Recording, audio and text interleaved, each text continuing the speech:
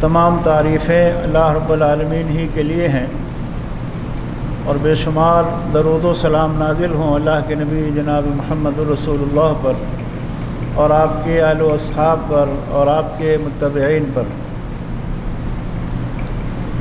رسول اکرم صلی اللہ علیہ وسلم نے اپنے تیئیس سالہ دور رسالت میں جو ہدایات اور تعلیمات ارشاد فرمائیں ان پر عمل کرنے کے نتیجے میں جو معاشرہ تشکیل پایا، وہ اس دنیا کا سب سے بہترین معاشرہ تھا۔ اور رسول اکرم صلی اللہ علیہ وسلم نے اپنے دور کو سب سے بہترین دور قرار دیا ہے۔ اور اپنے دور کے مسلمانوں کو سب سے بہترین مسلمان قرار دیا ہے۔ بہت مشہور حدیث ہے، جس میں آپ نے فرمایا، خیر الناس قرنی، ثم الذین یلونہم، ثم الذین یلونہم۔ سب سے بہترین لوگ، سب سے اچھے لوگ میرے زمانے کے لوگ ہیں۔ پھر ان کے بعد والے، پھر ان کے بعد والے۔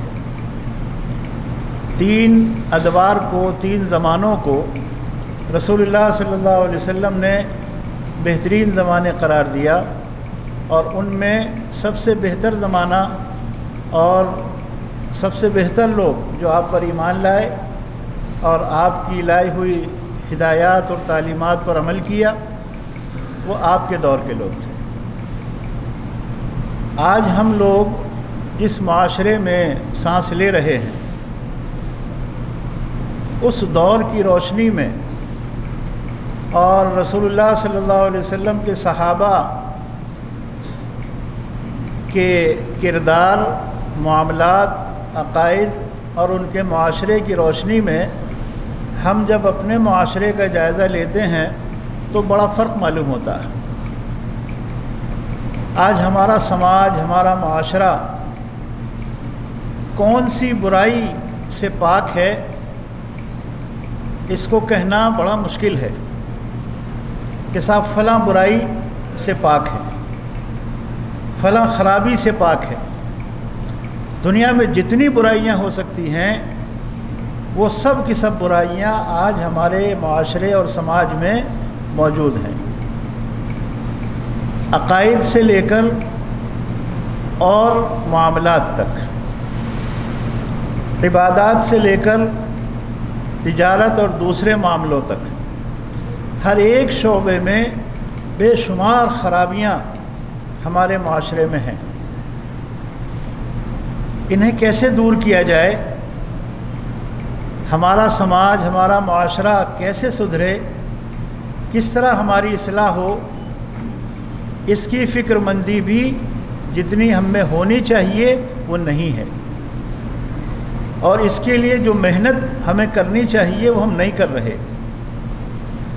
اور اسی کا نتیجہ ہے کہ آج ہم بحیثیت مسلم قوم زوال پذیر ہیں، زوال کا شکار ہیں۔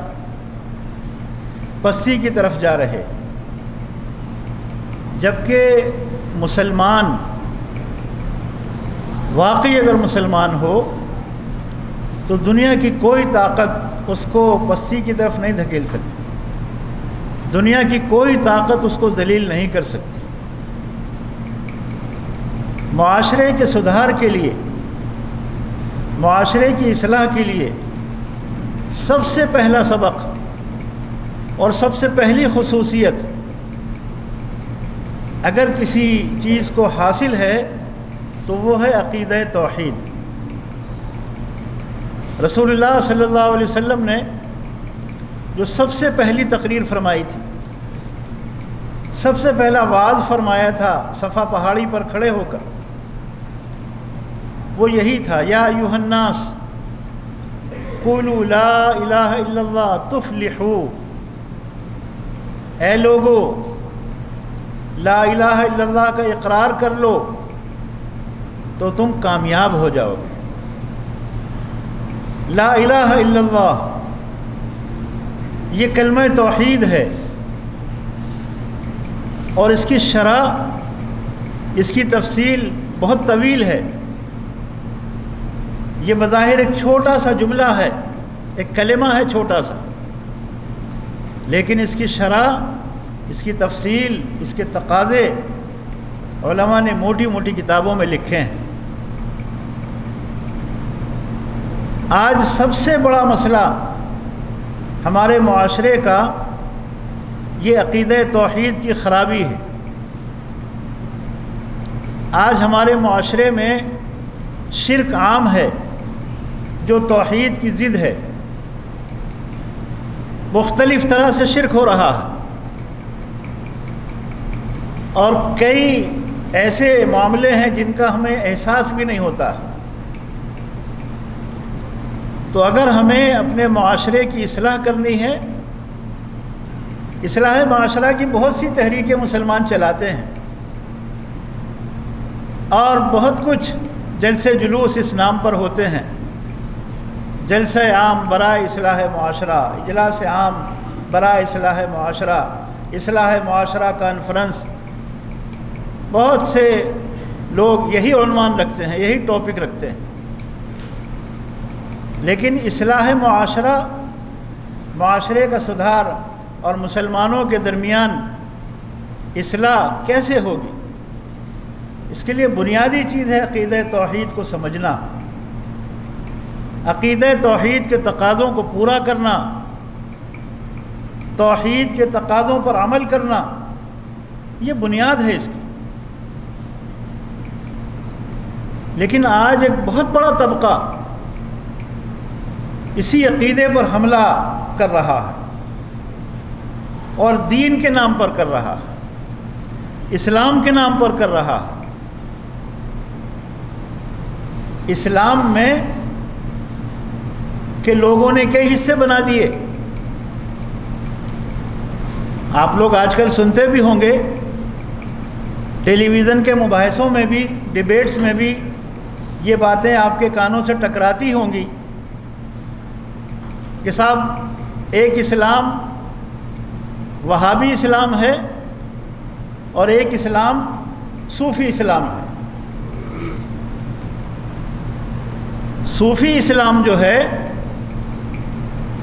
وہ بڑا پسند ہے لوگوں کو۔ غیر مسلموں کو بھی بڑا پسند ہے۔ حالانکہ صوفی اسلام کے نام سے دنیا میں کوئی اسلام نہیں ہے۔ اللہ نے جو اسلام نازل کیا ہے وہ صوفی اسلام نازل نہیں کیا۔ اللہ نے صرف الاسلام نازل کیا۔ ان الدین عند اللہ الاسلام۔ اللہ نے نہ وہابی اسلام نازل کیا ہے، نہ صوفی اسلام نازل کیا۔ اللہ نے جو اسلام نازل کیا ہے وہ قرآن میں ہے۔ اللہ نے جو اسلام نازل کیا ہے وہ رسول اللہ صلی اللہ علیہ وسلم کی سنت میں ہے۔ آپ کے عصو حسنہ میں ہے۔ صحابہ کے تعامل میں ہے۔ تو اسلام تو قرآن و حدیث والا اسلام ہے۔ نبی صلی اللہ علیہ وسلم کی اتباع والا اسلام ہے۔ اللہ اور اس کے رسول کی اطاعت والا اسلام اصل اسلام ہے۔ تو صوفی اسلام جو ہے، جسے لوگوں نے صوفی ازم یا صوفی اسلام کہا ہے، اگر اس کی تعریف کی جائے، جو کچھ ان کے نظریات اور عقید، عقائد ہیں، تو ایرانی مجوسیوں کے افکار و خیالات اور یہاں کے سناتن دھرمیوں کے افکار و خیالات کے مجموعے کا نام صوفیزم ہے۔ اس کے علاوہ کچھ نہیں ہے۔ اور اسی لیے آج جو فرقہ پرست لوگ ہیں یا جن کے ہاتھوں میں ملک کی باغ ڈور ہے وہ اسی صوفی زدہ اسلام کو پسند کر رہے صوفیت کے نام پر جس اسلام کی دہائی دی جا رہی ہے، اسی کو پسند کرتے ہیں۔ اسلام کا عقید توحید، لا الہ الا اللہ اللہ کے علاوہ کوئی معبود برحق نہیں، اللہ کے علاوہ کوئی حاجت روا مشکل کشا نہیں، اللہ کے علاوہ کوئی اس کائنات کے نظام کو چلانے والا نہیں۔ اللہ وہ ہے جس کا کوئی مشیر نہیں، وزیر نہیں، مددگار نہیں۔ وہ ہے اللہ۔ اللہ وہ ہے جو کسی کا محتاج نہیں۔ اللہ وہ ہے جو ضرورت مند نہیں۔ اللہ وہ ہے جس کے برابر کوئی نہیں۔ اس کے جیسا کوئی نہیں۔ جب یہ کہا جاتا ہے تو لوگ کہتے ہیں دیکھو یہ وہابی یہ وہابی ہے، بدعقیدہ ہے۔ اسی اسلام کی دعوت تو رسول اللہ صلی اللہ علیہ وسلم نے دی۔ یہی دین رسول اللہ صلی اللہ علیہ وسلم نے پھیلایا۔ اسی فکر کو پروان چڑھایا۔ بت پرستی کی تردید کی۔ اللہ کے علاوہ کسی کی عبادت مت کرو۔ اب صوفیوں نے کیا کیا؟ صوفیہ نے یہ کیا کہ جتنی آیتیں شرک کے بارے میں آئی ہیں، ان سب کو خاص کر دیا بتوں کے لیے۔ کئی سب بتوں کی تردید میں ہیں، بتوں کے لیے ہیں۔ اولیاء اللہ مراد نہیں ہے اس سے۔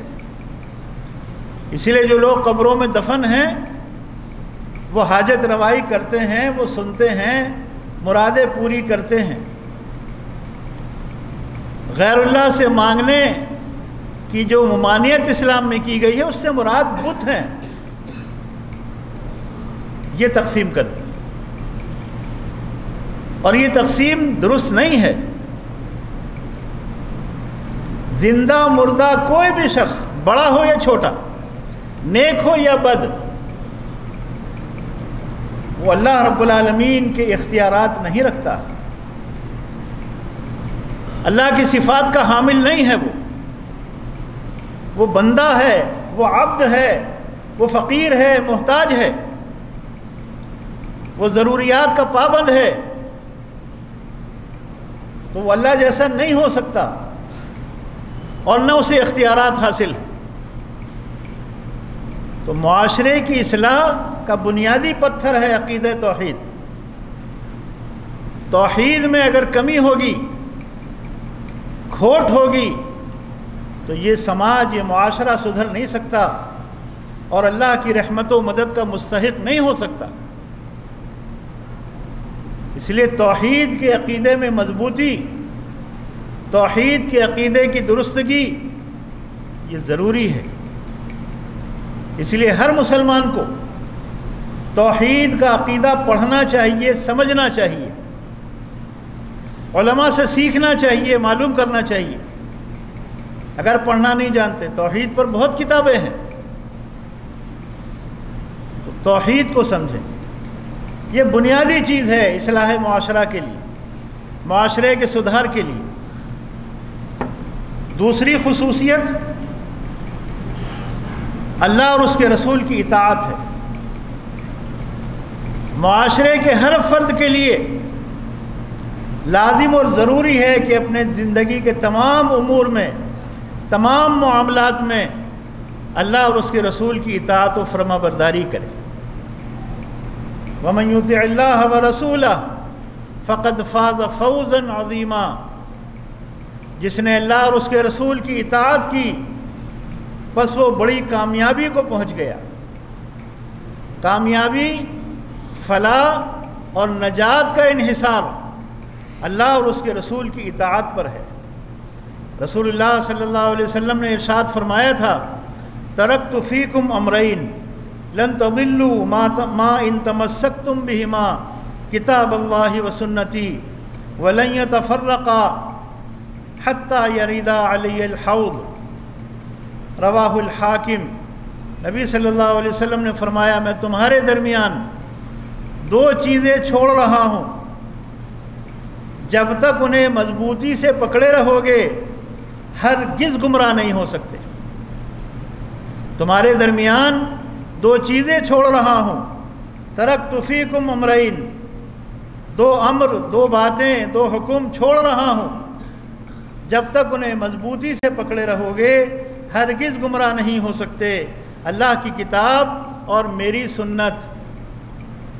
اور یہ دونوں الگ نہیں ہوں گے، یہاں تک کہ قیامت کے دن حوض پر حاضر ہو جائیں گے۔ کتاب و سنت ایک دوسرے سے الگ نہیں ہو سکتے، یہاں تک کہ قیامت آ جائے گی۔ تو رسول اللہ صلی اللہ علیہ وسلم نے کامیابی اور گمراہی سے بچنے کا نسخہ ارشاد فرمایا کہ تمہارے درمیان دو چیزیں چھوڑ رہا ہوں، اللہ کی کتاب اور اپنی سنت۔ تو اگر معاشرے کی اصلاح کوئی چاہتا ہے، ہمارا معاشرہ سدھر جائے، ہماری اصلاح ہو جائے، فرد کی اصلاح ہو جائے، اجتماعی طور پر اصلاح ہو جائے، پورے معاشرے کی اصلاح ہو جائے، اس کے لیے ضروری ہے کہ وہ تمام امور میں اللہ تعالیٰ کی اور رسول اللہ صلی اللہ علیہ وسلم کی اطاعت کریں آج ہم دیکھیں اور اپنا جائزہ لیں۔ کہ کن کن امور میں زندگی کے ہم اللہ رسول کی اطاعت کرتے ہیں؟ اگر ہم جائزہ لیں گے تو اس نقطے میں بھی ہم بہت پیچھے نظر آئیں گے۔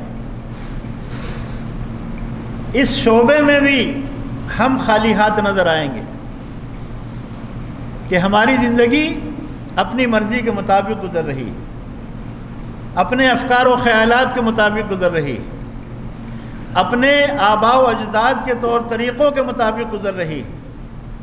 اپنی برادری کے رسم و رواج کے مطابق گزر رہی۔ ہم میں سے ہر ایک آدمی جائزہ لے لے۔ قرآن کریم کہتا ہے کہ جس نے اللہ کی اطاعت کی اور جس نے رسول کی اطاعت کی، یقیناً وہ کامیابی کو پہنچ گیا۔ کامیابی اللہ اور اس کے رسول کی اطاعت میں ہے۔ اس کے برخلاف اس کا مفہوم یہی ہوگا کہ جو قوم اللہ اور اس کے رسول کی فرما بردار نہیں ہوگی، وہ کامیاب نہیں ہو سکتی، نقصان میں جائے گی، خسارے میں جائے گی۔ اللہ کے نبی صلی اللہ علیہ وسلم نے ارشاد فرمایا تھا، میری امت تہتر فرقوں میں تقسیم ہو جائے گی۔ ستف طریق امتی اللہ ثلاثم و سبعین فرقہ۔ کلہم فی النار اللہ فرقتم واحدہ۔ ایک جنت میں جائے گا، باقی سب جہنم میں جائیں گے۔ قالو من ہی؟ یا رسول اللہ۔ صحابہ نے سوال کیا، اللہ کے رسول وہ کون ہوگا؟ فرمایا، ما انا علیہ الیوم و اصحابی۔ جس منہج پر، جس راستے پر آج میں ہوں اور میرے صحابہ ہیں، اس راستے پر چلنے والے لوگ جنت میں جائیں گے۔ ہم جائزہ لیں اپنا کہ ہمارا منہج کیا ہے۔ ہم کن اصولوں پر عمل کر رہے ہیں؟ کس راستے پر چل رہے ہیں؟ آج راستے بہت ہیں۔ افکار و خیالات بہت ہیں، بہت بھیڑ لگی ہوئی ہے۔ اور بہت سارے لوگ اپنے اپنے راستوں کی طرف بلا رہے ہیں۔ راستہ کون سا جنت کو جانے والا ہے؟ کون سا راستہ کامیابی کو پہنچانے والا ہے؟ وہ ہے ما انا علیہ الیوم و اصحابی آج جس پر میں ہوں اور میرے صحابہ، اس راستے پر چلنے والے لوگ جنت میں جائیں گے۔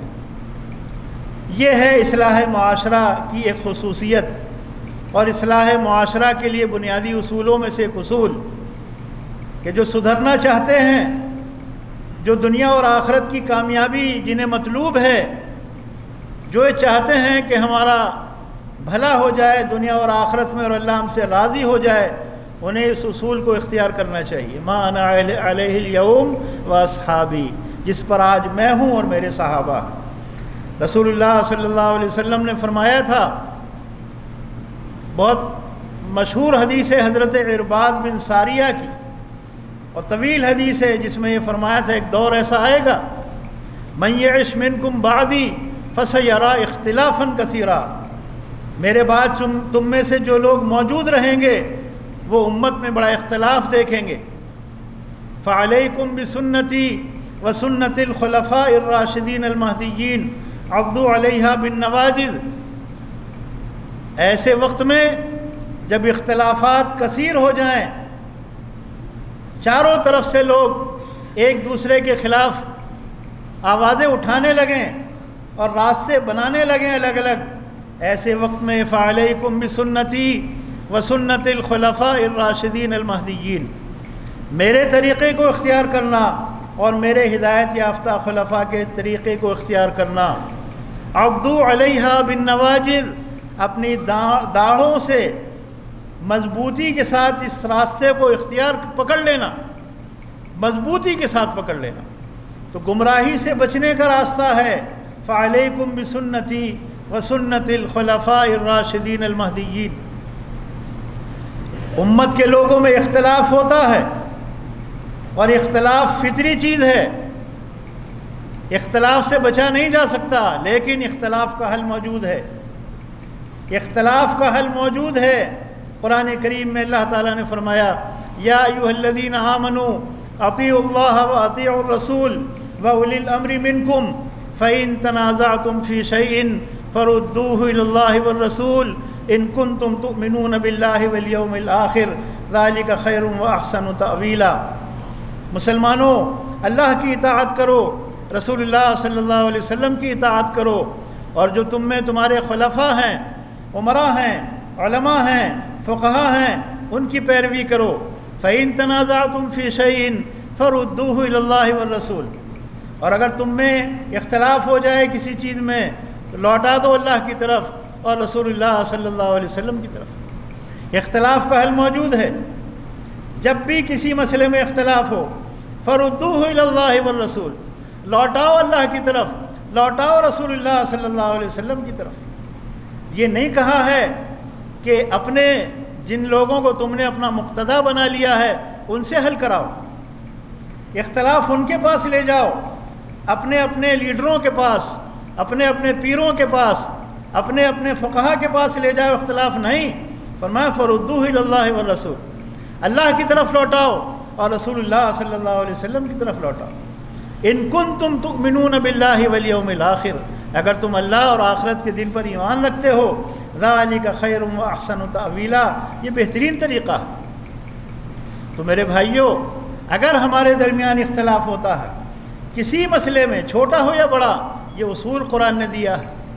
اللہ نے یہ نسخہ بیان کیا ہے اختلافات کو رفع کرنے صحابہ اکرام کے حالات کو پڑھیں تو آپ کو بہت ساری مثالیں مل جائیں گی کہ انہوں نے اپنے اختلافات اسی اصول کی بنیاد پر حل کیے، اختلافات کو ختم کیا۔ اور جب اس انداز میں ہم سوچنا شروع کریں گے اور یہ فکر ہماری ہوگی کہ ہمیں اپنے تمام اختلافی معاملوں کو لوٹانا ہے اللہ اور اس کے رسول کی طرف تو یقیناً اس کے نتیجے میں ہمارے درمیان اتحاد و اتفاق پیدا ہوگا۔ ہمارے درمیان یک جہتی آئے گی۔ ہم ایک صف میں ہو جائیں گے۔ انتشار ختم ہو جائے گا۔ اور اللہ رب العالمین نے اس امت کے بارے میں جو بیان کیا ہے وہ ان نہادی امت کم امتم واحدہ وان رب کم فتقول ایک جگہ فرمائے ان نہادی امت کم امتم واحدہ وان رب کم فعبدون ہم نے تمہیں ایک امت بنایا ہے۔ ایک امت بنایا ہے۔ بس میرا تقوی اختیار کرو۔ اپنے پروردگار سے ڈرو۔ وہ رب کم فتقون میں تمہارا رب ہوں۔ میں نے تمہیں ایک امت بنایا ہے۔ تقوی اختیار کرو۔ خشیت اختیار کرو۔ ڈرو اللہ سے۔ ان نہاد ہی امتکم امتم واحدہ وہ رب کم فابدون ہم نے تمہیں ایک امت بنایا ہے۔ میں تمہارا پروردگار ہوں، میں تمہارا رب ہوں، بس میری عبادت کرو۔ اللہ نے ہمیں ایک امت بنایا ہے۔ آج ہم میں بہت ساری امتیں بن گئیں۔ بہت سارے فرقے بن گئے۔ اور ہر فرقہ اپنے آپ کو حق پر سمجھ رہا ہے۔ دوسرے کو باطل پر سمجھ رہا ہے۔ جہنم رسید کر رہا ہے۔ اپنی مسجدوں کو ان کے لیے بند کر رہا ہے۔ کہ نہیں صاحب، اس مسجد میں فلاں فلاں فلاں فلاں لوگ نہیں آ سکتے۔ مسجدیں بٹ گئیں، مدرسے تقسیم ہو گئے، کتابیں تقسیم ہو گئیں، علماء تقسیم ہو گئے۔ کتنی تقسیمیں ہیں اس امت اور تقسیم ہوتے ہوتے امت کا شیرازہ بکھر گیا۔ اللہ نے تو ہمیں ایک امت بنایا تھا، ان نہاد ہی امت کم امتم واحدہ۔ ہم نے تمہیں ایک امت بنایا۔ ہے اور ہم نے کیا کیا؟ ہم نے بہت ساری امتیں بنا لی اور بہت سارے فرقوں میں تقسیم ہو گئے۔ تو میرے بھائیوں نسخہ ہے اتحاد کا فعین تنازع تم فی شعین فردو اللہ والرسول۔ اتحاد کے لیے نسخہ ہے فعلیکم بسنتی و سنت الخلفاء الراشدین المہدیین اتحاد کے لیے نسخہ ہے۔ اللہ نے نبی صلی اللہ علیہ وسلم نے اس طرح فرمایا کہ ماں انا علیہ الیوم و اصحابی جس پر آج میں ہوں اور میرے صحابہ۔ ہیں تو اختلاف اور انتشار سے بچنے کے یہ اصول ہیں جن پر ہمیں عمل کرنا چاہیے۔ معاشرے کی اصلاح اگر ہم چاہتے ہیں، تو آپس کے تعاون اور خیر خواہی کے جذبے کو اپنے اندر پیدا کریں۔ آپسی بھلائی، آپس کا تعاون، اللہ نے قرآن مجید میں فرمایا و تعاون البر و تقوا ولا تعاون الاسم والعدوان لوگوں کے ساتھ نیکی کے کاموں میں تعاون کرو، ساتھ دو ان کا، اور گناہ اور برائی کے کاموں میں ساتھ مت دو۔ نبی کریم صلی اللہ علیہ وسلم نے مثال کے دے کر فرمایا کہ مومن کیسے ہوتے ہیں؟ آج اس حدیث کی روشنی میں اپنے معاشرے کا ہم جائزہ لیں۔ آپ نے فرمایا، بخاری شریف کی حدیث ہے، مثل المؤمنین فی توادہم و تراحمہم و تعاطفہم مثل الجسد الواحد ادشتکا منہ عدو تداعا لہو سائر الجسد بالسہر والحمہ فرمایا کہ مومن کی مثال تو یہ ہے کہ وہ ایک دوسرے کے ساتھ محبت کرنے والے ہوتے ہیں، ایک دوسرے پر ترس کھانے والے ہوتے ہیں، ایک دوسرے کے ساتھ شفقت و محبت کرنے والے ہوتے ہیں۔ اور یہ ایک جسم کی مانند ہیں۔ اگر جسم کے کسی حصے میں تکلیف ہوتی ہے، تو پورا جسم اس کو محسوس کرتا ہے۔ یہ مثال ہے مومنین کی۔ مثل المؤمنین فی توادہم و تراحمہم و تعاطفہم۔ مثل الجسد الواحد ادشتکا منہ عضو تداعا له سائر الجسد بالسہر والحمہ نبی کریم صلی اللہ علیہ وسلم کا یہ فرمان کتنا عظیم ہے۔ کتنا عظیم ہے یہ فرمان، ایک حدیث پر عمل کر لیں ہم لوگ۔ معاشرے کی بہت ساری برائیاں ختم ہو جائیں گی۔ آپس کی دشمنیاں ختم ہو جائیں گی۔ عداوتیں ختم ہو جائیں گی۔ حسد اور بغض بغض کی برائیاں ختم ہو جائیں گی۔ غیبت اور چغلی کی برائیاں ختم ہو جائیں گی۔ جب ایک دوسرے کے ساتھ محبت کریں گے، شفقت سے رہیں گے اور ترس کھائیں گے ایک دوسرے کے حالات پر، تو میرے بھائیوں، یہ نسخہ ہے معاشرے کے اصلاح کے لیے بہترین نسخہ ہے۔ نبی کریم صلی اللہ علیہ وسلم کے ایک صحابی ہیں، حضرت جریر بن عبداللہ بیان کرتے ہیں بایات رسول اللہ صلی اللہ علیہ وسلم علی اقام الصلاح و عطاء الزکا و نسخ لکل مسلم۔ رواہ البخاری۔ فرماتے ہیں کہ ہم نے، میں نے بیعت کی رسول اللہ صلی اللہ علیہ وسلم کے ہاتھ پر۔ بایات رسول اللہ صلی اللہ علیہ وسلم میں نے بیعت کی اللہ کے رسول صلی اللہ علیہ وسلم کے ہاتھ پر کن کاموں کے لیے اقام الصلاح نماز پڑھتا رہوں گا؟ وہ عطاء الزکا زکوٰۃ کی ادائیگی کرتا رہوں گا؟ و نسخ لکل مسلم، اور ہر مسلمان کی خیر خواہی کرتا رہوں۔ گا مسلمان کی خیر خواہی معاشرے کی اصلاح کے لیے بے حد ضروری ہے۔ آج ہمارے درمیان خیر خواہی کا جذبہ ختم ہو گیا ہے۔ آج ہم سب افرتفری کا شکار ہیں۔ اللہ کے رسول صلی اللہ علیہ وسلم نے تو مومن کی تعریف کی تھی۔ کیا تعریف کی ہے؟ ایک حدیث جو صحیح بخاری میں ہے۔ اور بارہا آپ نے سنی ہوگی۔ پھر سن لیجیے۔ بطور نصیحت، بطور تذکیر۔ فرمایا، لا یؤمن احدکم حتی یحب علی ما یحب لنفسه تم میں سے کوئی بھی شخص اس وقت تک کامل مومن نہیں بن سکتا۔ جب تک کہ وہ جو کچھ اپنے لیے پسند کرتا ہے، وہی اپنے بھائی کے لیے پسند کرے جو اپنے لیے پسند کرتے ہو، وہی اپنے بھائی کے لیے پسند کرو۔ جب تک یہ فکر پیدا نہیں ہوگی، یہ جذبہ نہیں ہوگا، کامل مومن نہیں بن سکتے۔ اللہ کے نبی صلی اللہ علیہ وسلم نے ارشاد فرمایا، المسلم اخ المسلم لا يظلمه ولا يسلمه ومن كان في حاجة اخيه كان الله في حاجته رواہ البخاری۔ فرمایا، مسلمان مسلمان کا بھائی ہے۔ مسلمان مسلمان کا بھائی ہے۔ وہ نہ اس پر ظلم کرتا ہے اور نہ اسے دشمن کے حوالے کرتا ہے۔ نہ اس پر ظلم کرتا ہے، نہ اسے دشمن کے حوالے کرتا ہے۔ اور جو شخص اپنے بھائی کی ضرورت کو پورا کرنے میں لگا رہتا ہے، اللہ اس کی ضرورتیں پوری کرتا ہے۔ اللہ اکبر۔ ہم ضرورت مندوں کی ضرورتیں پوری کرنے میں لگے رہیں تو اللہ ہماری ضرورتیں پوری کرتا ہے۔ کتنا بہترین نسخہ ہے معاشرے کی اصلاح کا کہ ہم ایک دوسرے کے لیے بھائی ہیں، ایک دوسرے کے عقی ہیں، ایک دوسرے کے خیرخواہ ہیں۔ یہ جذبہ ہمارے اندر پیدا ہونا چاہیے۔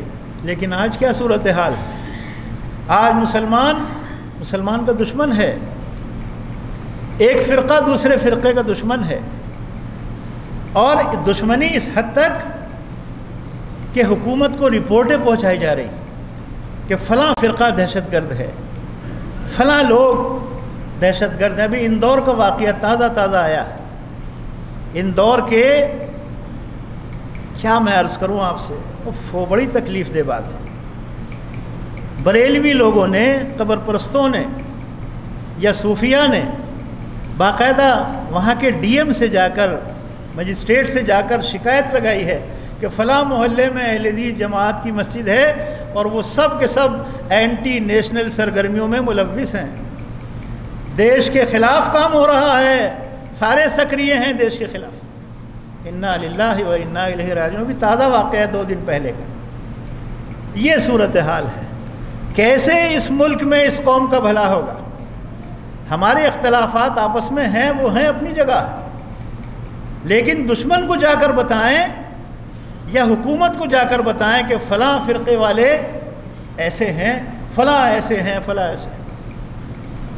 جبکہ جماعت اہل حدیث تو اصل اسلام کی داعی ہے۔ اصل اسلام جو قرآن و حدیث میں ہے، اس کی طرف دعوت دیتی ہے۔ اور اصل اسلام دہشت گردی سے پاک ہے۔ اور جتنا، جتنی لحاظ داری